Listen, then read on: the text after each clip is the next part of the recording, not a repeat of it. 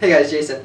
And a lot of people have been emailing me. There's been a lot of news in the Scryptcoin community about these ASIC miners. I just did a video talking about you know how Litecoin has seen a triple increase in their hash rate. You know, Dogecoin is now seeing 100 uh, gigahashes a second, which is crazy. You know, a lot of news coming out, and people are asking me, you know, Jason, what's going on? And I, my last video kind of covered that. I'll put a link in the description if you want to go watch that, or it's in my channel. But I want to talk about people that ask me about buying ASIC miners. I had when I used to do Bitcoin videos, and I still do, but I had a lot of people asking me about you know buying ASIC miners for Bitcoin, and I, a lot of people I told you know don't get into Butterfly Labs first of all, uh, big scam, and um, then you know if you're going to get into it, look at the return on investment. Well, what happened is when people were getting into Bitcoin mining, the hash rate was already so exponentially increasing over and over that you weren't gonna. It was gonna take you you know at current if the hash rate took current it was going to take you three or four months to, to make a return on investment. And then even after that, you got to calculate into the hash rate expanding every 14 days dramatically, right? So people are asking me, Jason, you know, they're saying, Jason, should I buy an ASIC miner? Should I wait? What's going on? Should I wait for the prices to decrease? And I really want to stress this, and I hope this gets home for you guys. I hope this breaks down evenly and, and explains it, right? Because ASIC for Scrypt started pre-ordering around April. Some did it earlier, but that's when some of the serious ones went through. We started to see ASICs for Scrypt kind of coming out around June. I know some of the people that bought a whole bunch got them in June. Um, June, the middle of June, about June 15th, seemed to be when a lot of the common people were able to buy these scrypt coins. Or, I mean, they, they had them on pre-order, they had bought them, but for them to get them to their door and get them up and mining.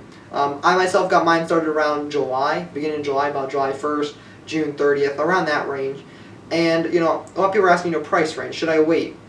And I want to break this down. If you wait now, you're going to have a financial disincentive. We're in this grace period right now. And this is not a promotion. This is just you know, numbers. People that bought up these ASICs early, you know, like, and then started getting them in June, are the best possible scenario. They're making a lot of bank, right? a lot of bank. But now, you might say, well, Jason, it's July. Is it too late? It, well, it's only been about a month, about two weeks since the, you know, the common people or the, the average amount of miners have been getting these ASICs. And I, and I know people are going to say, well, Jason, I had a miner, you know, June 8th or June 9th or June 3rd. Yes, but not as many people had them around that date. So you might be saying, okay, okay, okay, I understand this, Jason. I understand the hash rate now. Explain to me, is it too late to buy these ASIC coins? Or not ASIC coins, these ASIC miners? I don't think it's too late. I think if you wait till the end of August, I think it probably will be too late. I think we'll see that exponential increase like we saw with Bitcoin. But I think, like I was getting ready to talk about a couple seconds ago, you have this grace period between you know the middle of June to probably about the end of July when you can buy these ASICs.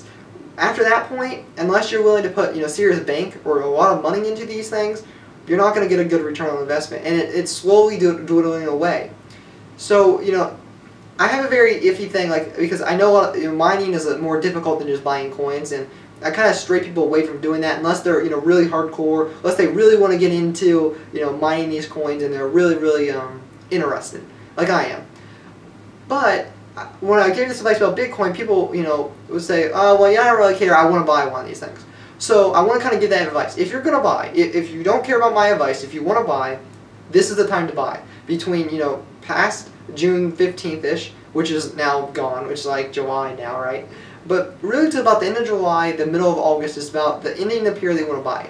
And you say, well, what price is that really equivalent to? Around anything less than about $600, and really probably under a thousand, depending on how much hash rate gets added in the next, you know, four weeks, six months, or not four weeks, six weeks, not six months.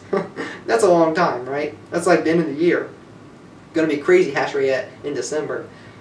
That's your grace period. That's when you can buy it and, you know, I know it's going to be more expensive. I know people are saying, well, Jason, like you yourself bought a GAW miner, and they get cheaper each week, and, and they do. Um, they're kind of getting, they're kind of flatlining price now, which is kind of crazy.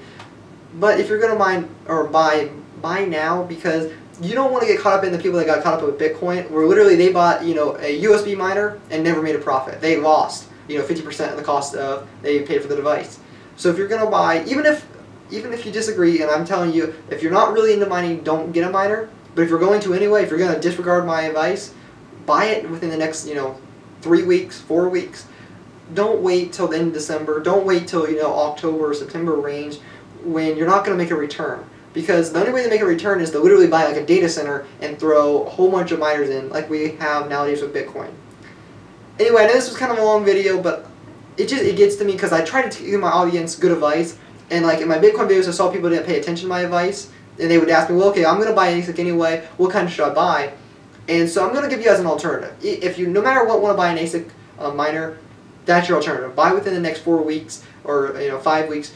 Don't get screwed. Don't let the mining hash rate um, pull the cover over your eyes and literally just make it so you can never make a profit. Unless you're one of those you know crazy people like me that want to have a piece of history, it's really no point of buying an ASIC miner after you know Mm, you know six weeks maximum because of the fact that unless you're gonna go out and buy like you're adding a new room to your house and you're like I'm gonna build this huge big ASIC miner that's gonna mine like 30 gigahashes I'm gonna be the biggest miner on the block well then you're fine but most people aren't that way most people don't have that kind of capital and the truth of being is, if you're gonna buy, buy here recently, or not. If you haven't bought already, buy soon. anyway, guys, thanks for watching. This has been Jason Schaumleffel. I hope you enjoyed the video. Like, comment, subscribe, whatever you want to do. I really don't care. Have a great day.